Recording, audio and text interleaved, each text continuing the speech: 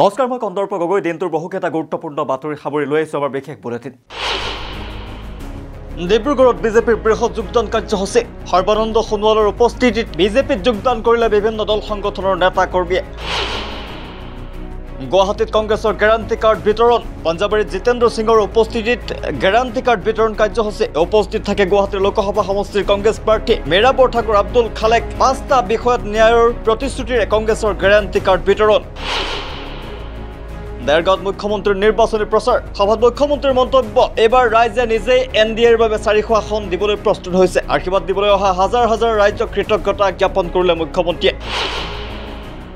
মুখ্যমন্ত্ৰীৰ মন্তব্যৰ পিছতে দেৱব্ৰত শইকীয়াৰ প্ৰতিক্ৰিয়া। নাজিৰাৰ এখন নিৰ্বাচনী সভাত মুখ্যমন্ত্ৰীয়ে নাজিৰাৰ বিধায়ক দেৱব্ৰত শইকীয়াৰ কাম নাই কেৱল মুখ্যমন্ত্ৰীলৈ চিঠি লিখি থাকে বুলি মন্তব্য কৰিছিল। তেওঁ যিমান মুখ্যমন্ত্ৰীলৈ চিঠি লিখে সিমান চিঠি নিজৰ পত্নীলৈও লিখি পাইছেনে নাই বুলি মন্তব্য কৰিছিল। মুখ্যমন্ত্ৰীৰ মন্তব্যৰ পিছতে দেৱব্ৰত শইকীয়াৰ প্ৰতিক্ৰিয়া মুখ্যমন্ত্ৰীগৰাকীয়ে অতি তুলুঙা অশালীন মন্তব্য কৰিছে। মুখ্যমন্ত্ৰী এগৰাকীৰ মুখত এনে কথা শোভা নাপায়। দেৰগাঁৱত মুখ্যমন্ত্ৰীক চুবলৈ ৰাইজৰ ভিৰ নিৰ্বাচনী প্ৰচাৰৰ সভাত অংশগ্ৰহণ কৰিবলৈ গৈছিল মুখ্যমন্ত্ৰীগৰাকী। চাবলৈ যাওঁতে এনেদৰে মুখ্যমন্ত্ৰীগৰাকীক ৰাইজৰ মৰম উষ্ম আদৰণি। গোৱালপাৰাৰ ৰামযুগত ভয়ংকৰ পথ দুৰ্ঘটনা। দুৰ্ঘটনাত ঘটনাস্থলীতে নিহত হয় দুজন লোক গুৰুতৰভাৱে আহত ছগৰাকীকৈ লোক। ইয়াৰে চাৰিগৰাকী লোকৰ অৱস্থা অতি সংকটজনক। নিহত দুই ব্যক্তিৰ নাম ফ্ৰাংচা মাৰাক আৰু জেনিথ মাৰাক বুলি জানিব পৰা গৈছে। আটাইকেইজনৰ ঘৰ মেঘালয়ৰ বাজেং দবাত বুলি জানিব পৰা গৈছে।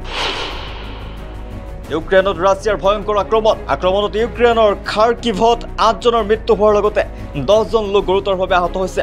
আল জাজিৰাই প্ৰকাশ কৰিছে এই তথ্য। ইউক্ৰেইনৰ আৰক্ষীৰ দাবী ড্ৰোনেৰে সংঘটিত কৰিছিল এই আক্ৰমণ। দেশজুৰি আপৰ গণ অনশন কাৰ্যসূচী দিল্লীৰ ৰাজপথলৈ ওলাই আহিল আপ কৰ্মী। আপৰ নেতা অৰবিন্দ কেজৰিৱালৰ গ্ৰেপ্তাৰৰ বিৰুদ্ধে প্ৰতিবাদ। কেজৰিৱালক শীঘ্ৰেই মুকলি কৰাৰ দাবী।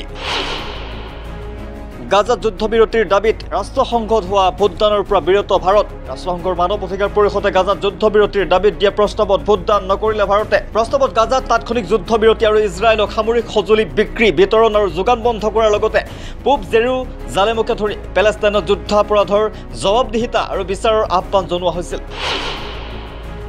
কৃত্ৰিম বুদ্ধিমত্তাৰ ব্যৱহাৰ কৰি ভাৰতীয় নিৰ্বাচনত প্ৰভাৱ পেলাব চীনে। এই আশংকা প্ৰকাশ কৰিছে আমেৰিকাৰ তথ্য প্ৰযুক্তি কোম্পানী মাইক্ৰছফ্টৰ শেহতীয়া প্ৰতিবেদনত। চীনে দক্ষিণ কোৰিয়া আৰু আমেৰিকাৰ নিৰ্বাচনকো লক্ষ্য কৰি লৈছে।